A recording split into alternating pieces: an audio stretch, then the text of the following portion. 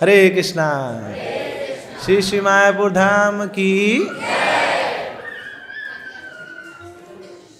तो बहुत बड़ा सौभाग्य है आप सबका, हम सबका, कि आज मायापुर धाम में प्रवेश मिला है।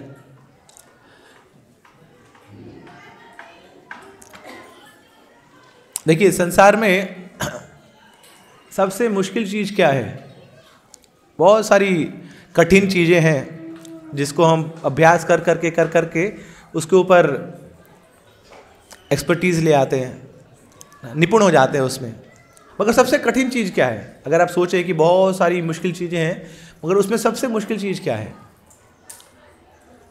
तो शास्त्र बताते हैं कि हाँ सबसे मुश्किल चीज़ क्या है? कि जो संसार में जब अधर्म बढ़ जाता है, अधर्म का नाश करना, अधर्म को दूर करना सबसे कठिन चीज़ है। बहुत मुश्किल है। इतना मुश्किल है कि इसको दूर करने के लिए किसको आना पड़ता है? भगवान को आना पड़ता है। यदा यदा ही धर्म से ग्लानिर्भवती भारत, अभ्युत्थानम से तदात्मान सृजामि हम। परित्राणाय साधूनाम विनाशाय च दुष्कृताम धर्म संस्थापनार्थाय संभवामी युगे युगे। तो भगवान बोलते हैं युग युग में मुझे आना पड़ता है। कभी कृष्ण के रूप में, कभी राम के रूप में अलग रूपों में मैं आता हूँ किसके लिए? अधर्म का नाश करने के लिए। तो बड़ी कठिन चीज़ है ये, बड़ा मुश्किल है। हम लोग नहीं कर पाएँगे। पता क्यों नहीं कर पाएँगे? खुद ही अधर्मी हम लोग। अधर्मी व्यक्ति कैसे ना, अधर्म का नाश करेगा? खुद ही अपने अधर्मों में, अपने पापों में फंसे रहते हैं। वो मोटर तो बंद नहीं होती पाप की।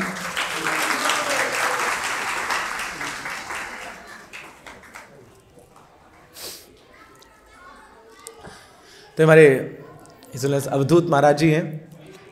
तो नाम भी अवधूत है और कार्य भी अवधूत है इनके। कभी महाराज जी सामने हैं तो इन चर्चा कर लेते हैं। ना, भगवान से पहले भगवान के भक्तों का गुणगान होना चाहिए। हाँ तो महाराज जी, ये जब आप जगह देख रहे हैं, ना, ये खंडर हुआ करती थी, ये जंगल हुआ करते थे। तो अपने सिंगल हैंडली महाराज ने इस जगह को संभाला है, इसका कार्यक्रम संभाला है। और इतना सुंदर मंदिर दिया है हमें। अरे वो और महाराज जी प्रभुपा जी के लिए लिए पूर्ण शनागत है प्रभुपा जी के भक्तों के लिए पूर्ण शनागत है। उनका हृदय उनका मन उनके विचार उन, उनकी सारी जो इंद्रियाँ हैं सारा जो शरीर है वो ठाकुर जी और ठाकुर जी के भक्तों के लिए है। तो अकेले यहाँ पे पूरा ये मठ संभालते हैं। ना यहाँ पे बहुत सारे जंगली जानवर भी हैं ना बहुत सारे दुष्कर्मी लोग भी हैं ना सबको झेलते हुए यहाँ पर सेवा करते हैं। तो मैंने देखा था यहाँ पे एक दिन हम शाम रात को आए थे हम नवदीप मंडल परिक्रमा में थे तो परिक्रमा कर नहीं पाए थे तो सोचा कि एक बार दर्शन करके आते हैं। तो शाम के समय में अकेले महाराज जी थे, यहाँ पे माइक था, उनके राधा माधव, राधा मदन मोहन जी थे, और अकेले यहाँ पे कीर्तन कर रहे थे, अकेले यहाँ पे कथा कर रहे थे। मगर जानते हैं कि अकेले नहीं है, जहाँ पे हरी कथा होती है, वहाँ पे ठाकुर जी विराजमान होते हैं। तो जब भी यहाँ पे परिक्रमा आती है तो महाराज सब भक्तों का अपने हृदय से स्वागत करते हैं, उनका, उनकी सेवा करते हैं। बहुत ही कोमल हृदय है महाराज का, और बहुत ही विशाल हृदय है। तो ऐसे भक्त तो आपको धाम में ही मिल पाएँगे। तो एक एक प्रकार के पक्के जो धामवासी अगर आपको देखने हैं तो वो मूल दिखते हैं। ही सुने अवधूत स्वामी महाराज जी में हैं। और बहुत ही प्रेम है उनके हृदय में भक्तों की सेवा करने का। तो निश्चित रूप से हम महाराज जी से चाहिए कि हमें आशीर्वाद दें कि ताकि हम भी ये भाव के कुछ रंच मात्र हम ले जा पाएँ, अपने जीवन में अपना पाएँ। और अपने जीवन को कृतार्थ कर पाए। तो एक बार धन्यवाद देंगे महाराज जी का chanting Hare Krishna Hare Krishna Krishna Krishna, Hare Hare Hare Ram Hare Ram Ram Ram, Hare Hare. His Holiness Abdul Swami Maharaj ji की, शील प्रभुपाद की, निताई गौर प्रेम आनंदे हरे कृष्णा। तो दुर्जनों को सुधारना आसान बात नहीं है। ना हमारे अपने घरों में कोई ना कोई दुर्जन बैठे होते हैं जन्म बीत जाते हैं ना उन दुर्जनों को संभाल नहीं पाते। सब परिवार के लोग लगे होते हैं कैसे कैसे इसको सुधार दें इसको सुधार दें? मगर वो हम नहीं सुधरेने वाली कैटेगरी में है। आसान नहीं है दुर्जनों को सुधारना। मगर वही शास्त्र बोलते हैं कि हाँ दुर्जनों को सुधारना दुर्जनों को आ, मारना बड़ा कठिन है। मगर उससे भी कठिन है दुर्जनों को सुधारना। मारकाट करना बड़ा आसान है। उठाया भाला मार दिया, उठाए शब्द मार दिया। तो मारना, काटना, पीटना, छोड़ना, घृणा करना, ये बड़ा आसान है। मगर किसी व्यक्ति को सुधार देना, उसकी पाप की वृत्ति को सुधार देना बड़ा कठिन है। तो ऐसे ही देखिए, हमारे जो इतिहास गवाह है, सतयुग में ऐसे दो बड़े पापी थे, हिरण्याक्ष और हिरण्यकशिपु। तो उनको सिखाने के लिए भगवान आए। मगर सिखा नहीं पाए। बहुत समझाया। हिरण्याक्ष को बहुत समझाया भगवान ने। हिरण्यकशिपु को बहुत समझाया। खुद भी समझाया, अपने भक्तों के द्वारा समझाया। नहीं मानने को तैयार था। तो क्या हुआ? विनाश काले विपरीत बुद्धि। नहीं समझ पाया वो। तो मारना पड़ा भगवान को। हिरण्याक्ष को मारा हिरण्यकशिपु को मारा। फिर त्रेता युग आया। तो त्रेता युग में स्वयं भगवान आए श्री रामचंद्र के रूप में। तो उसमें भी उनको बहुत सारे लोगों को मारना पड़ा। मारीश को मारा, सुबाहु को मारा, त्रिशरा को मारा अलग राक्षसों को मारा। सुधर नहीं रहे थे लोग। रावण को मारा। सोचिए, रावण कौन है? ब्राह्मण का पुत्र है ना? तो ब्राह्मण को भी मारना पड़ा भगवान को। स्त्री को मारना पड़ा। और फिर द्वापर युग आया। तो ये तो लीला पुरुषोत्तम भगवान है, कृष्ण। ये तो मधुर लीलाएँ करते हैं, मगर वो मधुर से बच्चे ने भी क्या किया? छः दिन में ही शुरू कर दिया अपनी काम। वो भी सफ़ाई के अभियान में शुरू हो गए थे ना, स्वच्छ भारत मिशन। ना छः दिन में निपटाने लगे थे, पूतना आई, उसको निपटा दिया। सोचिए, स्त्री के रूप में है, उसको मार दिया भगवान ने। तो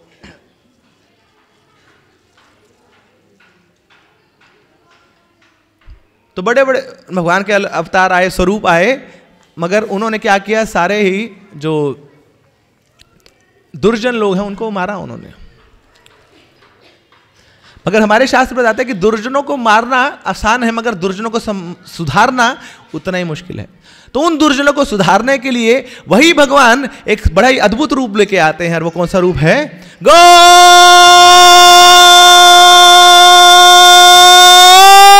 रंग तो ये जो गौरंग रूप है, ये दुर्जनों को मारने के लिए नहीं है, दुर्जनों को सुधारने के लिए। तो कोई पूरा शास्त्र पढ़ लीजिए चैतन्य चरितमृत पढ़िए चैतन्य भागवत पढ़िए चैतन्य मंगल पढ़िए उसमें कहीं पे भी भगवान चैतन्य महाप्रभु आपको किसी को मारते हुए नज़र नहीं आएँगे। मगर हाँ उनकी जो हृदय में जो पाप की प्रवृत्ति है उसको ज़रूर मारा। तो बड़े बड़े दुर्जन आए थे महाप्रभु की लीला में। चाँद काजी आया था मृदंगा तोड़ दिया भक्तों को पीट रहा था मगर महाप्रभु ने उसको मारा नहीं। केशव काश्मीरी हाँ, बड़ा अहंकारी था वो। वो आया शास्त्रार्थ करने के लिए महाप्रभु के साथ। बोलो, आओ, ना, थोड़ा आर्गूमेंट करो, तर्क वितर्क करते हैं शास्त्रों के बेसिस पे। महाप्रभु ने बोला, नहीं, ये लो सर्टिफिकेट ले लो मुझसे, मैं तुमसे हार गया। मैं तुमसे तर्क वितर्क नहीं कर सकता तो उसको भी भगवान ने मारा नहीं। तो ऐसे ना, बड़े दुर सारे, बहुत सारे दुर्जन थे जिनको चैतन्य महाप्रभु ने मारा नहीं, मगर क्या किया? उनको सुधार दिया। तो ये जो प्रवृत्ति बदल गई, भगवान की कैसे बदली, पता है आपको? क्योंकि चैतन्य महाप्रभु तो है ही कृष्ण। मगर कृष्ण कौन से हैं वो? राधा रानी का भाव लेके आए। और राधा रानी तो माँ है, ममता है उनके हृदय में। तो जैसी माँ आ जाती है तो वहाँ पे प्रेम आ जाता है। तो कृष्ण तो प्रेमी है, कृष्ण तो प्रेम देते हैं, मगर अब वो कृष्ण राधा रानी का भाव लेके आए हैं, वो चैतन्य महाप्रभु के रूप में आए हैं। अब तो प्रेम बरसाने आए हैं, क्योंकि राधा रानी प्रेम बरसाती है। बोले, बरसाने वाली की? है ना? कृष्ण बरसते हैं और राधा रानी बरसाती है। है ना? कृष्ण तो गरजते हैं, है ना? बस वो तो धाम धूम धड़ाका। मगर राधा रानी, वो तो प्रेम की देवी है। तो राधा रानी का भाव लेके आई हैं, इसलिए भगवान श्री कृष्ण बड़े उदार हो चुके हैं, बड़े कृपालु हो चुके हैं, अब वो सुधारना चाहते हैं सबको। तो ये हमारा सौभाग्य है कि हम ऐसी परंपरा में जुड़े हैं जिसमें श्री चैतन्य महाप्रभु हैं। ऐसे कलयुग में आए हैं, जिसमें आज से 500 वर्ष पूर्व, इसी भूमि पे जहाँ पे आप हैं, यहाँ पे गौरंग महाप्रभु आए थे। श्री नवदीप धाम की और जब आए थे, तब से यहीं पे हैं। गए नहीं है महाप्रभु, उनकी लीलाएँ तो नित्य हैं। अभी भी स्थली पे प्रतिदिन भगवान की लीलाएँ चलती रहती हैं। तो महादानी हो एक दानी होता है जो सामने वाले की प्लेट में कुछ दान दे देता है।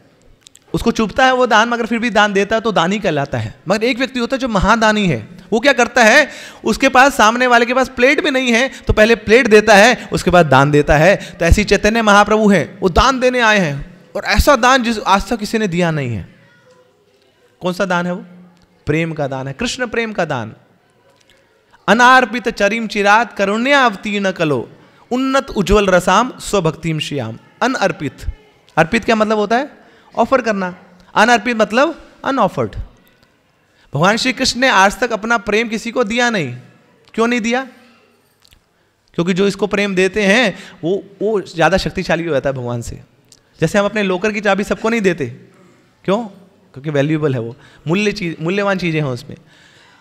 जिसको दे दी तो हमसे ज़्यादा शक्तिशाली हो जाएगा, हमसे ज़्यादा धनवान हो जाएगा। ऐसी भगवान का प्रेम जिसके पास है, भगवान बोलते हैं, मेरे से ज़्यादा शक्तिशाली है। मेरे से बड़ी पोजीशन है इसकी। ऐसे भगवान बोलते हैं, मैं स्वतंत्र हूँ, मगर जो मेरे भक्त हैं, वो मुझे बाँध लेते हैं क्योंकि उनके पास मेरा प्रेम है। ही अस्वतंत्र साधु भी ग्रस्त हृदय, भक्त भक्त जनापिया। भगवान बोलते हैं, मैं अहम भक्त पराधीन हूँ। मैं अपने भक्त के अधीन हो जाता हूँ, क्योंकि इस भक्त के हृदय में मेरा निवास है। ये मुझे प्रेम करता है, उस प्रेम की रज्जू में मेरे को बाँध लेता है, इसलिए मैं इसके अधीन हो जाता हूँ।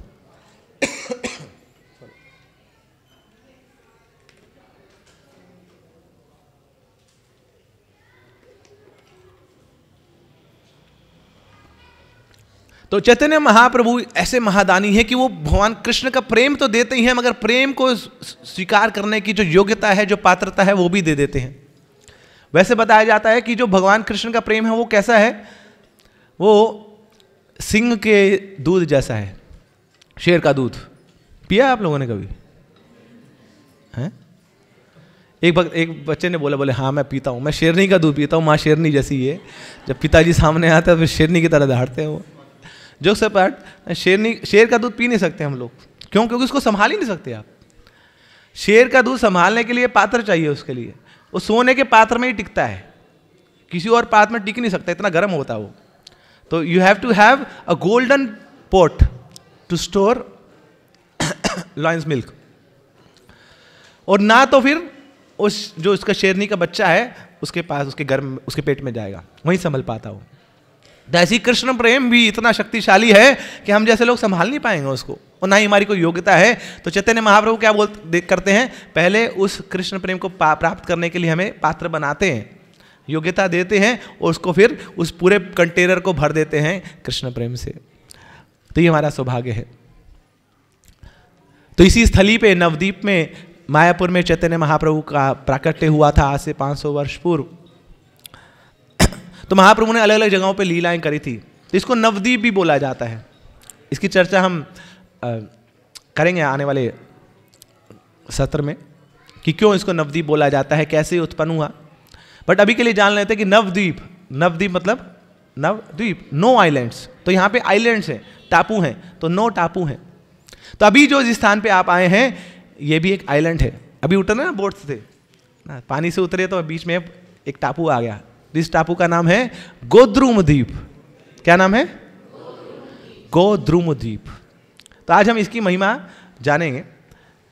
मगर एक हमारे भक्त हैं जो गोद्रुम द्वीप की महिमा सुनाते हैं। अगर किसी को धाम निष्ठा सीखनी है तो इनसे सीखिए। इनका नाम है प्रबोधानंद सरस्वती। तो बड़ा सुंदर इन्होंने गोद्रुम द्वीप के बारे में बताया है। आप सुनिए। कोटि चिंतामणि आदि मिले अन्य स्थाने। श्रीहरीर बहिर्दृष्टि यदि ये स्थाने। तथापि गोद्रुम धूली छाड़िए शरीरा। अन्यत्र ना जाए ये न बुद्धि होए स्थिरा। ऐसी धाम निष्ठा है। प्रबोधानंद सरस्वती बोलते हैं, कोटि चिंतामणि यदि, अगर कोई मुझे चिंतामणि रत्न दे दे। एक नहीं, कोटि मतलब करोड़ों चिंतामणि रत्न। चिंतामणि क्या होता है? आप चिंता कीजिए, आप इच्छा कीजिए पूरा कर देगा। ऐसे रत्न होते हैं।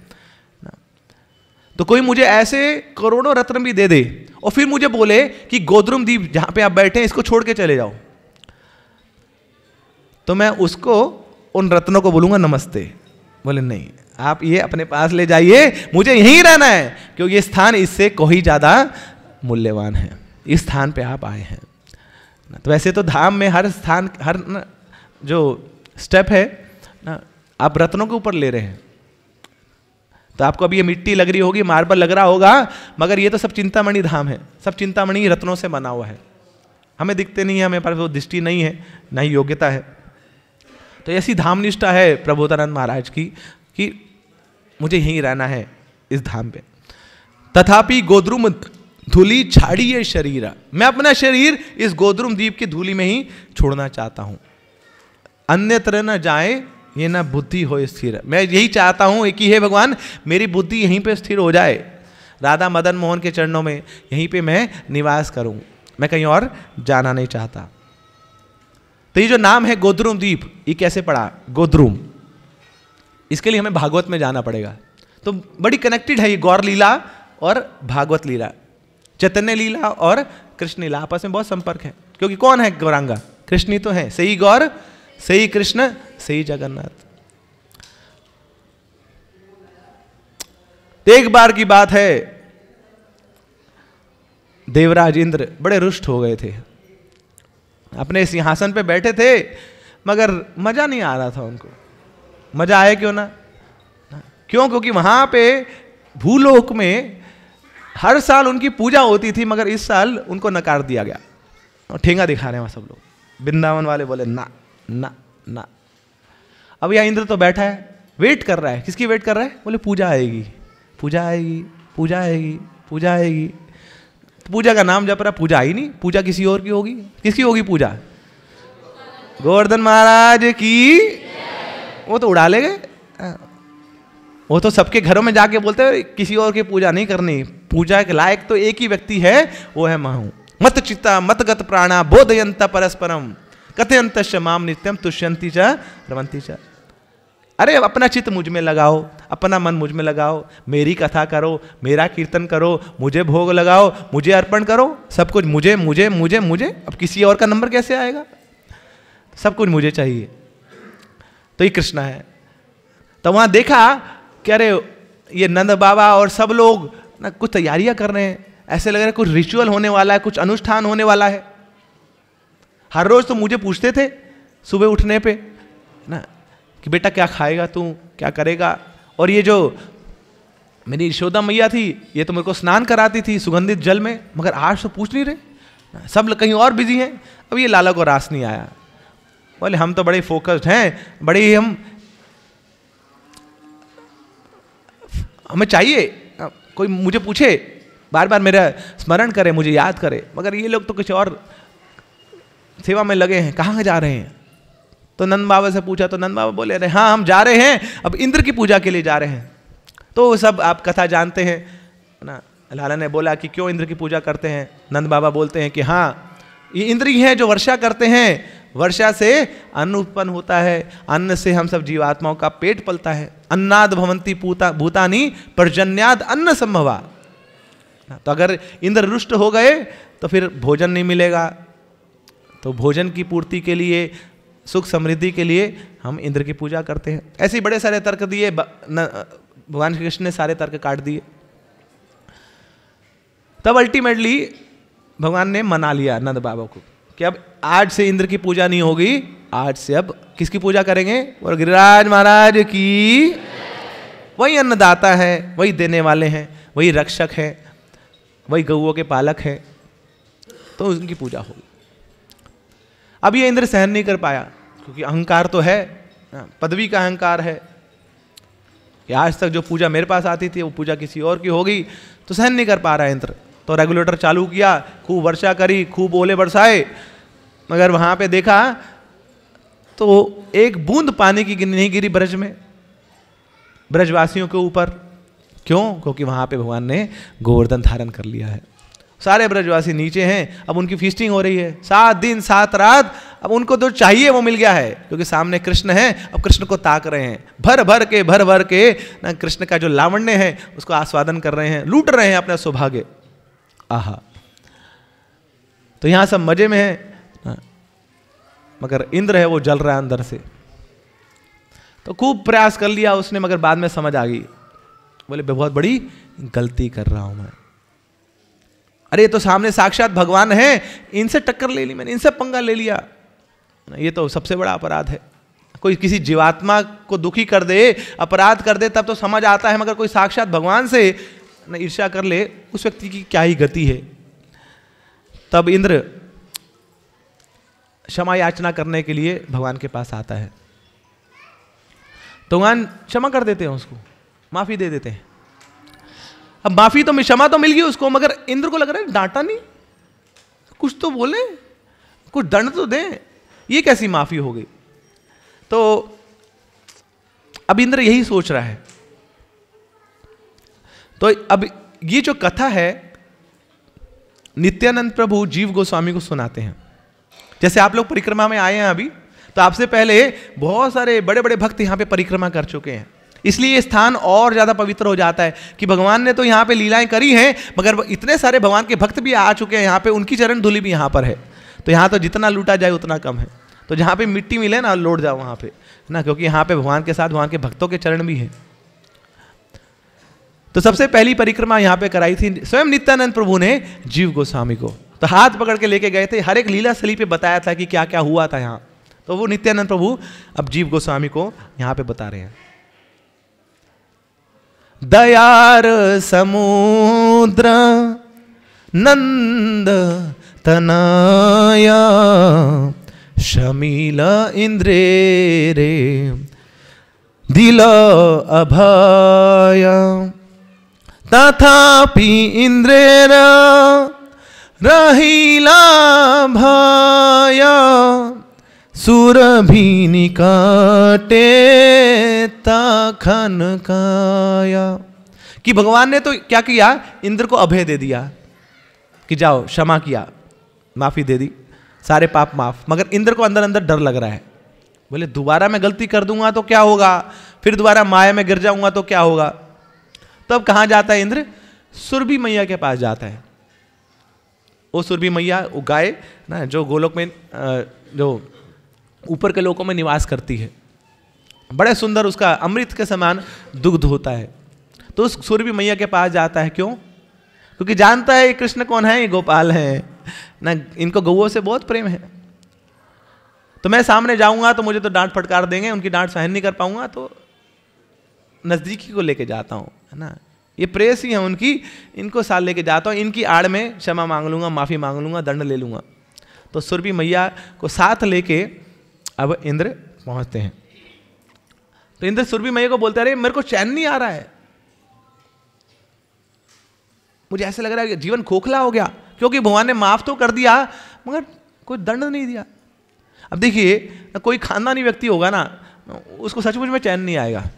तो इंद्र तो है खानदानी व्यक्ति है ना, राजा है, देवराज इंद्र है। तो बोले, अभी मन शांत नहीं हो रहा, थोड़ा सा भगवान डांट दें, थोड़ी दंड दे दें तो मैं शांत हो जाऊँगा। तब सूर्य मैया क्या बोलती हैं? इंद्र के इस वचन को सुन के सुने ची चीकलीते, ब्रजेंद्र सूता, करीबे नदिया, लीला अद्भुत। तो ये इंद्र के इन वचनों को सुनकर सुरभि बोलती हैं कि अरे, बड़ी जल्दी कलयुग आने वाला है और कलयुग में कौन आने वाला है? ब्रजेंद्र श्री महाप्रभु की। तो स्वयं साक्षात वो लीला पुरुषोत्तम भगवान श्री कृष्ण वो आने वाले हैं कलयुग के अंदर। और कहाँ पे आएँगे? वो नदिया में आएँगे और बड़ी ही अद्भुत लीला यहाँ पे वो करेंगे। तो इंद्र बोलता है कि अरे, मैं भगवान से मिल गया, मैं मोहित ना हो जाऊँ तो मैं पुनः भगवान से क्षमा याचना करना चाहता हूँ। तो इंद्र अब सुरभि को बोलते हैं तुम्ही तो सुर भी सकल जान। करहो पखान तहार विधान। अरे सुरभि ओ मैया, ना आप सब जानते हैं, माँ तो सब जानती है, ना ऊपर से जताती है कि नहीं पता उसको, मगर हमारी एक एक नटखट पने को सब जानती है। तो ये मैया, आप आप मेरे हृदय को जानते हैं। कितना काला है मेरा हृदय। तब क्या करिए, ये जो दुविधा में फंसा हूँ, ये जो संशय में फंसा हूँ, आप इसको दूर करिए, इसका कुछ विधान निकालिए, कुछ सॉल्यूशन इसका निकालिए आप। अब क्या करते हैं सुरभि मैया, दो श्लोकों में परामर्श देती हैं। इंद्र को, क्या बोलती हैं? सूरभि बोलीला चल जाई सुरभि नवद्वीप धाम। भजी निमाई तब बोलते हैं, अरे, चलो चलो चलो। एक सॉल्यूशन है मेरे पास। कहाँ चलते हैं? अब हम लोग नवदीप चलते हैं। नवदीप धाम में चलते हैं। वहाँ पे क्या है? किस लिए जाएँगे नवदीप धाम में? क्या करेंगे वहाँ पे जाके? बोले हाँ वहाँ पे बड़े अच्छे नारियल के पानी मिलते हैं वहाँ पर, ना? बड़ा अच्छा ब्रेकफास्ट मिलता है। बड़े सुंदर सुंदर रसगुल्ले, गुलाब जामुन मिलते हैं, रबड़ियाँ मिलती हैं, मिष्टी दही मिलती है। चलो, सब मिल के कहाँ चलेंगे हम? नवदीप चलेंगे। इसलिए, चलो इंद्र, तुम भी चलो मेरे साथ। है ना? तुम्हें बताती हूँ वहाँ पे कितने मिष्ठान मिलते हैं। अलग अलग मेरे ही गाय के दूध के कितने सुंदर व्यंजन मिलते हैं। चलो। इसलिए चलना नवद्वीप किसलिए चलना है? नवदीप धाम। भजी निमाई अरे, नवदीप धाम में जाना है और ज़ोर ज़ोर से किसका नाम लेना है? गो तो चलिए, नवदीप चलते हैं और ज़ोर से गुरंग का भजन करेंगे, निमाई का भजन करेंगे हम। तो इस प्रकार अब सुर भी सॉल्यूशन देती हैं इंद्र को। अब ये जो गौरांग भजन है, इसकी इसकी क्वालिटी बता रही है सुरभि मैया। गौरांग भजन सहज आती, सहज तहार फल बीताती ये जो गौरांग भजन है, ये सारे भजनों में सबसे सहज है, सबसे आसान है, सबसे सरल है। हरे कृष्ण महामंत्र करते करते भी हम लोग अपराध कर बैठते हैं। इसलिए उससे पहले हमें कौन सा मंत्र बताया गया है? बोले, पंचतत्व मंत्र बोल लो, उसके बाद अपराध भी करोगे, वो क्षमा है। क्यों? क्योंकि निमाई निताई है, ये परम करुणा है, ये सबका उद्धार करने आए हैं, ये किसी का अपराध लेते नहीं है। इनको पता नहीं होता कि अपराध होता क्या है। तो ये जो गौरांग भजन है, सबसे सरल है। तो क्या करते हैं? अब दोनों, सुरभि और इंद्र, दोनों मिलके क्या कर रहे हैं? गोरंग बोलिया, क्रंदन करे। गोरंग दर्शन होए सतवारे तो अब बड़ी ही जल्दी, सत्वरे मतलब होता है वेरी फास्ट बहुत ही जल्दी, क्षणों क्षणों के अंदर सामने उनको दर्शन हो जाता है। किसका दर्शन हो जाता है? साक्षात गोरंग महाप्रभु का दर्शन हो रहा है, इंद्र को और सुरभि को। अब प्रश्न है कि इतनी जल्दी कैसे दर्शन हो गया? पहला कारण है कि उन्होंने किसका भजन किया? गोरंग का भजन किया। और दूसरा, कैसे भजन किया? गोरंग बोलिया, करंदन करे। रोते रोते। सजल आँखों से उन्होंने गोरंग महाप्रभु का भजन किया। तो यह विधि है भजन करने की। भगवान को प्राप्त करने की, अगर कोई साधक बड़ी जल्दी कृष्ण को प्राप्त करना चाहता है तो अगर उसकी आँखों में आँसू नहीं आ रहे तो मतलब कोई भजन नहीं कर रहा है। अब इसका ये मतलब नहीं कि ग्लिसरीन लगा के हम थोड़ा शुरू हो जाए। कोई चीपली, ना, कोई सस्ता हमें साधन नहीं लेना है। कोई दिखावटी आँसू नहीं चाहिए हमें, मगरमच्छ के आँसू नहीं चाहिए हमें। हृदय से वो आँसू जब निकले, तब बात है। मगर वो आँसू ऐसे होंगे, फिर कभी पब्लिक में निकलेंगे नहीं। ऐसे आँसू तो बस ठाकुर के सामने ही होते हैं, उन्हीं के लिए हैं। जो भी पब्लिक में आँसू हैं, वो दिखावा है। जितने लोग पब्लिक में रोते हैं, वो केवल दिखावा है, केवल ढोंग है। प्रपंच है बस। कि बताने के लिए कितने बड़े महान भक्त हैं। जो महान भक्त होगा, वो तो अपनी भक्ति छुपा के रखेगा। वो उसका प्रदर्शन नहीं करेगा कभी। तो यहाँ, अब इंद्र के तो आँसू वैसे निकल रहे थे बेचारे के। करता मरता, क्या ना करता। तो वो तो ऐसे ही पुकार रहा है भगवान को। तो उसके तो आँसू निकल रहे हैं, मगर साथ साथ एक शुद्ध भक्त है सुर भी वो भी प्रेम से गौरांग भजन कर रही है तो आँखों से, ना, क्रंदन हो रहा है, वो रो रही है। देखिए, गोपियों से भगवान दूर चले गए थे, रासलीला करते हुए। तो उसके बाद उनको बुलाने के लिए भगवान, गोपियों ने क्या किया? कौन सा गीत गाया था? गोपी गीत गाया ना? मगर गोपी गीत के बाद भी भागवत में बताया गया कि भगवान आए नहीं थे। भगवान वहाँ पर पहुँच नहीं पाए। क्यों? बोले, गा रही हैं। गाने बजाने में क्या है? इनके गाने से मैं आ जाऊँगा क्या? उसके बाद फिर भागवत में वर्णन आता है कि गोपी ने क्या किया? रू रुदू ना, वो रोई है। और जब रोई तो फिर भगवान उनका हृदय द्रवित हुआ कि, अरे, मेरे भक्त मेरे लिए रो रहे हैं। मैं यहाँ कहाँ यहाँ बैठ सकता हूँ उनके बिना? तो तुरंत अपना धाम जोड़ के फिर वापस गोपियों के पास आ जाते हैं। तो भगवान को पुकारना है, भगवान को बुलाना है तो एक ही साधन है, उनके लिए रोना पड़ेगा। देखिए, रोना तो है ही। संसार में रोना ही लगा सबका ना? खुद नहीं रोते तो दुनिया वाले रुलाते हैं तो माया रुलाती है तो सच है कि वहाँ ना रोए तो हम भगवान के लिए रो लें। कीर्तन कीर्तन शब्द का उल्टा क्या है? नर्तकी मतलब नाचना तो है आपको, नर्तकी आप बनेंगे बनेंगे। तो अगर माया की नर्तकी नहीं बन जाना चाहते तो इससे पहले भगवान की नर्तकी बन जाइए। भगवान के सामने ज़ोर ज़ोर से हाथ उठा के कीर्तन कीजिए, माया कभी आपको नचा नहीं सकती है। बड़ा सिंपल है, बड़ा सरल है। तो यहाँ लक्ष्मण जी भी पूछते हैं श्री राम जी से। एक दिन जब श्री राम जी थोड़े से कम बिज़ी थे तो लक्ष्मण जी ने पकड़ लिया।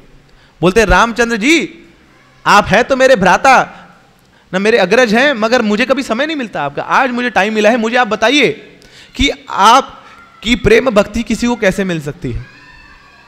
आपके लाखों करोड़ों भक्त हैं, मगर उसमें सबसे प्रिय कौन है आपको?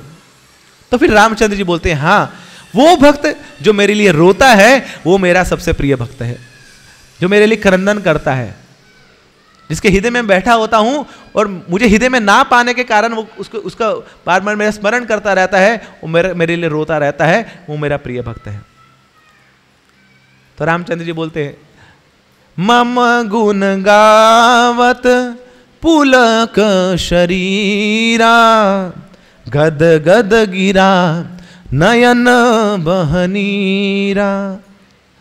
काम आदि मद दम्भन तर का तात निरंतर बस मैदा के कि जो निरंतर अपनी आँखों से अश्रुधारा बहाता है मेरे लिए, मेरे क्रंदन करता है, मेरा स्मरण करता है तो वो मेरा प्रिय भक्त है।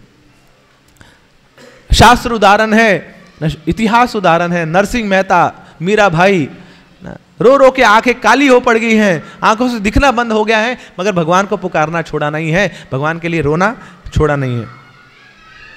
तो ये महाप्रभु ने हमें सिखाया। ना। वदनम गद गद हृदया गिरा शिष्याष्ट में पढ़ते हैं आप। वदनम गद गद हृदया गिरा। कि कब वो दिन आएगा कि मैं भगवान के नामों का इतना कीर्तन कर लूँ इतना कीर्तन कर लूँ अरे अरे अरे, आवाज़ ना निकले। कब वो दिन आएगा? अभी तो कीर्तन चल रहा होता ना पूरी लाउड साउंड में। और कुछ लोग ऐसे वक्त होते टनाटन बिल्कुल सीधे बैठे होते थे बोले तुम करते रहो ये हमें क्या लेना देना? हम तो एनर्जी बचा के बैठे हमें तो वापस दिल्ली जाना है। है ना? तो वदनम गदगद रुधिया गिरा ना कब वो दिन आएगा कि कला मेरा, गला मेरा अवरुद्ध हो जाएगा? ना, आँखों से अशुधारा बहेगी, मैं हरी नाम में डूब जाऊँगा, पागल हो जाऊँगा। कब वो दिन आएगा? When will that day come कबे हवे बोलो, शे दिन आमार। कब वो दिन आएगा? तो इस प्रकार अब सुरभि और इंद्र क्रंदन कर रहे हैं, चैतन्य महाप्रभु को पुकार रहे हैं। और फिर उसी समय इस दृश्य को देखते हुए चैतन्य महाप्रभु उनके समक्ष प्रकट हो जाते हैं। उनको अपना दर्शन देते हैं। और इंद्र अपनी व्यथा व्यक्त करते हैं चैतन्य महाप्रभु की, महाप्रभु, ओ कृष्णा, मैंने आपके प्रति अपराध किया है। आपने मुझे क्षमा भी कर दिया है, मगर मेरे हृदय में, मेरे दिल में मुझे चैन नहीं मिल रही है। कुछ दंड दीजिए मुझे, कुछ सेवा दीजिए मुझे। तो फिर चैतन्य महाप्रभु बोलते हैं, चिंता मत करो इंद्र, बड़ी जल्दी वो समय आने वाला है। कलयुग में मैं प्रकट होऊँगा इसी स्थान पर, नवदीप स्थान पर। और तब तुम्हें भी मौका मिलेगा मेरा दर्शन करने का। तो इसके बाद चैतन्य महाप्रभु अदृश्य हो जाते हैं और इंद्र भी चले जाते हैं, मगर सुरभि मैया वो यहाँ पर स्थित हो जाती हैं। इसलिए जो द्वीप है, इसका नाम है गो द्रुम द्वीप गो मतलब गाय, द्रुम मतलब वृक्ष। तो अभी भी सुरभि मैया नित्य रूप में यहाँ पर विराजमान है। तो यहाँ पे जो अश्वत्थ वृक्ष है, उसके नीचे सुरभि मैया हमेशा विराजमान रहती हैं। तो इसलिए यहाँ इसका नाम पड़ गया गोद्रुम द्वीप। और ये जो स्थान है गोद्रुम द्वीप, सुरभि इसके स्थान को बोला जाता है सुरभि कुंज जहाँ पे आप, क्योंकि सुरभि मैया यहाँ पे रहती हैं। तो ये सुरभि कुंज वृंदावन के सुरभि वन से अभिन्न है। तो जो वृंदावन में सुरभि वन है, वही नवद्वीप में सुरभि कुंज है। अब आगे एक और कथा भी हुई थी यहाँ पर, कि भगवान ने अब सुरभि मैया को यहाँ पर नित्य रूप में स्थान दे दिया है कि आप यहीं पे रहिए। तो एक समय की बात है मार्कंडे ऋषि, उनकी इच्छा जागृत हो गई कि मुझे अमर बनना है। कई बार ऋषियों में ना वो ये इच्छाएँ जागृत हो जाती हैं। मुनि बोलते हैं ना मुनि। मुनि मतलब जो लीक से हटके बात करता है। सब जानते हैं, मरना है मरना है मरना है, ना जातक से ही ध्रुव मृत्यु, जिसने जन्म लिया उसको मरना है। मगर मुनि लोग सोचते हैं कुछ अलग हटके करते हैं हम। तो वही मारकंडे ऋषि बोले बोले बहुत हो गया। अब अमर बनना है। तो उसके लिए तपस्या कर रहे हैं मारकंडे ऋषि। तो महामृत्युंजय मंत्र का जप करते हैं शिव जी की आराधना करते हैं। अब शिव जी तो आशुतोष हैं, बड़ी जल्दी प्रसन्न हो जाते हैं। तो भोलेनाथ प्रकट होते हैं, पूछे, इच्छा पूछे। तो मार्कंडे ऋषि बोलते बोले, सात कल्प के लिए मैं मृत्यु नहीं चाहता हूँ। ब्रह्मा जी के सात दिनों तक मैं मृत्यु नहीं चाहता हूँ। तो ब्रह्मा जी के सात दिन कितने हो गए? ब्रह्मा जी के एक दिन में होते हैं हज़ार चतुर्युग। तो इस प्रकार ब्रह्मा जी के सात दिन मेरी मृत्यु ना हो। तो भोलेनाथ बोले, ठीक है जी, तथास्तु, जैसी आपकी इच्छा। अब वो तो भोलेनाथ कौन है? वो यमराज से भी ऊपर है, ना महाकाल है वो। तो यमराज भी उनसे आदेश लेके कुछ आगे कार्य करते हैं। तो भोलेनाथ ने तथास्तु बोल दिया। अब एक दिन क्या हुआ, जब ब्रह्मा जी का दिन खत्म होता है तो उस समय प्रलय होती है। दो प्रकार की प्रलय होती है। एक जब ना पूरा सृष्टि खत्म होती है, तब प्रलय होती है, और फिर ब्रह्मा जी के हर एक दिन में भी प्रलय होती है। जब ब्रह्मा जी के सौ दिन हो जाते, सौ वर्ष हो जाते हैं, तब महाप्रलय होती है, और हर एक ब्रह्मा के दिन में, के बाद भी प्रलय होती है। तो ब्रह्मा जी का दिन ऐसे होता है, कि जब दिन में तो सब चलेगा, हँसते, खेलते चलेगा, और फिर रात होगी जब बारह घंटे उसमें प्रलय होती है। फिर अगले बारह घंटे में फिर क्रिएशन शुरू होती है, अगले बारह घंटे में फिर डिवास्टेशन होती है। मगर ये जब ब्रह्मा जी का दिन खत्म हुआ तो रात शुरू हुई तो प्रलय चालू होगी और ऐसी भयंकर प्रलय, हर जगह तूफ़ान तूफ़ान, लहरे लहरे। ना, पूरे बादल छा चुके हैं हर जगह काले काले बादल हैं बड़े बड़े मेघ आ चुके हैं ऊपर, और घंघोर वर्षा कर रहे हैं। और वहाँ समुद्रों से तूफ़ान आ रहा है, समुद्रों से लहरें आ रही हैं। चारों तरफ़ समुद्री समुद्र है, जो पृथ्वी है, पता नहीं लग रहा कहाँ पे चली गई पृथ्वी। ऐसा लगता था कि पृथ्वी कभी एग्जिस्ट नहीं करती है। हर तरफ़ पानी पानी है बड़े बड़े मगरमच्छ हैं, और भी जीव जंतु जो पानी के जीव जंतु हैं, हर जगह से आ रहे हैं। सारे पेड़ समाये जा रहे हैं, सारी जो बिल्डिंग्स हैं, वो समाई जा रही है उस पानी में। सारे जीव जंतु उस पानी में समाये जा रहे हैं। तो इस प्रकार ये भयंकर प्रलय चल रही है। हर जगह अंधेरा सा छाया हुआ है। कोई दिखा नहीं दे रहा है कुछ किसी को, क्या चल रहा है। तो अज्ञान का अंधकार हर जगह छाया पड़ा हुआ है। उस समय मार्कंडे ऋषि अफसोस करते हैं। बोले, मांगा तो क्या मांगा? आसमान से गिरे, खजूर पैट के बोले, क्या मांग लिया मैंने? अच्छा वाला सामने आशुतोष थे, शिवजी थे मेरे सामने, मगर मैंने क्या मांग लिया? कि सात ब्रह्मा जी के दिन तक मेरी मृत्यु ना हो। और अभी तो पहला दिन है, इसमें हाहाकार हो गया मेरा। अब ठीक है, आपकी मृत्यु नहीं होगी, मगर कष्ट तो हो ही रहा है। पानी यहाँ से उठा के फेंक रहा है उधर उधर अब सोचिए, सुनामी की लहर में आपको फेंक दे, बोले, मरोगे नहीं। झूठे खाओ। तो झूठे खाई जा रहे वहाँ से गिरते, यहाँ पड़ते यहाँ से गिरते, वहाँ पड़ते बस यही चली जा रहा उनका। तो गिरते पड़ते गिरते पड़ते गिरते पड़ते अब मार्कंडेय ऋषि यहाँ पे पहुँचते हैं, नवद्वीप के अंदर। और वहाँ पे एक अश्वत्थ का वृक्ष है, ना, पीपल का पेड़ है। तो समहाओ उसकी एक एक डाली को पकड़ लेते, एक ब्रांच को पकड़ लेते, कस के, बोले, पता नहीं है तो लहरें मुझे बहा के ले जाएँगी, कहाँ चला जाऊँगा तो मैं पकड़ लेता हूँ उसको। तो उस डाली को पकड़ लिया और फिर थोड़ा सा पेड़ के ऊपर आ गए। और फिर वहाँ देखा तो उस पेड़ के एक डाली के ऊपर एक बहुत बड़ा पत्ता है, उस पत्ते के ऊपर एक छोटा सा शिशु है। और कौन है वो? करार विंदे, न करार विंदम। मुखार विंदे, विनवेशयंतम। वटस पात्र पुटे शयानम, बालम मुकुंदम मनसा स्मरामि। गोविंद हरे मुरारी, हे नाथ नारायण वासुदेव, जीवे पिब स्वत अमृत में तदेव गोविंद दामोदर माधवेति। एक छोटा सा बालक है करार विंदे न पदार विंदम ना, जिसके जो हस्त हैं, वो कमल जैसे हैं। जिसके जो पाँव हैं, वो कमल जैसे हैं, और उसका जो मुखारविंद है, वो भी बिल्कुल कमल जैसा है। ये तो साक्षात गोपाल हैं, इनका दर्शन हो गया मुझे। तो बड़े एक प्रकार से बच गए, खुश है अंदर से कि हाँ अब आगे कहीं और मुझे कष्ट सहन नहीं करने पड़ेंगे। कमल के तीन गुण होते हैं ना, कि कमल क्या होता है? बड़ा सॉफ्ट होता है, बड़ा सुंदर होता है, बड़ा सुगंधित होता है। तो भगवान के उस रूप को देखकर अब सांत्वना मिली है मार्कंडे ऋषि को। और फिर वहाँ देखा कि पास में एक मैया भी है। कौन है? गौ मैया है, सुरभि मैया भी है।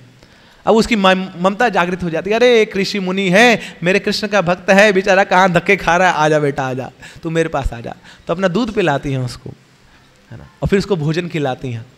तब जाके थोड़ी शांति होती है, तृप्ति मिलती है मार्कंडेय ऋषि को। तो करोड़ों, करोड़ साल ऐसे निकल रहे थे उनके झटके खाते हुए। अब जाके एक एक स्थिर स्थान मिला है जहाँ पे उनको सुरक्षा मिली है। सामने भगवान है और यहाँ पे गौ माता है। तो ये वही स्थान है जहाँ पे मार्कंडेय ऋषि का बचाव हुआ था, उनको स्थान मिला था, उनको सुरक्षा मिली थी। और तब से मार्कंडेय ऋषि बोले, मैं भी यहीं पे रहूँगा। मैं कहीं छोड़ के जाने वाला नहीं हूँ, मैं नवदीप में रहूँगा। तो उन्होंने अपना डेरा बसा लिया और अभी भी मार्कंडेय श्री इसी स्थान पर अपना भजन करते हैं। तो ये नवदीप स्थान है, ये सुरभि कुंज है, जहाँ पे सुरभि मैया नित्य नवीन रूप में यहाँ पे रहती हैं, विराजमान है और मार्कंडेय यहाँ पे भजन करते हैं। और एक और बड़ा अद्भुत कार्य हुआ था इसी स्थान पर।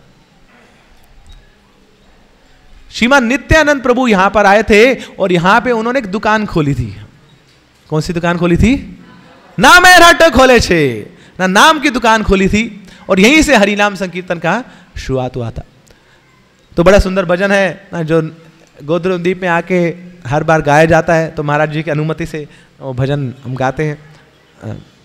तो महाराज अभी सुबह मेरे को बता रहे थे ना, बड़े सुखी खबर गाए। ना बड़े सुख की बात है। आप लोग आए हैं, दिल्ली से यहाँ पे चल के आए हैं, मगर क्योंकि सबसे बड़ी सुख की बात क्या है कि यहीं पे नित्यानंद प्रभु ने वो दुकान खोली है मार्केट प्लेस खोली है, हरि नाम की।